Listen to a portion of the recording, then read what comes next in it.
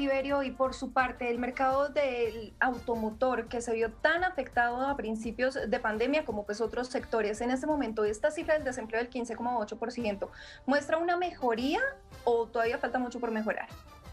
Mira, la cifra es consecuente con la evolución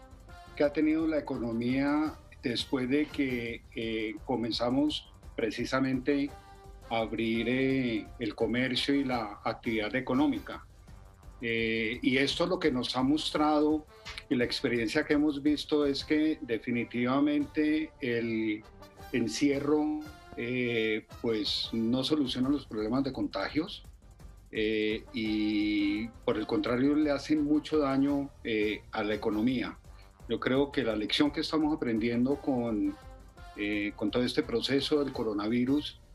es que necesitamos simplemente que aprender a vivir con, con, el, con el virus eh, y por supuesto una lección de autocuidado de las personas.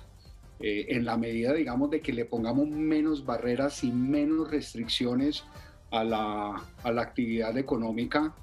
eh, pues vamos a tener mejores resultados eh, económicos, vamos a tener una sostenibilidad social eh, y vamos a poder proteger esos empleos y ese tejido social que necesitamos en este momento.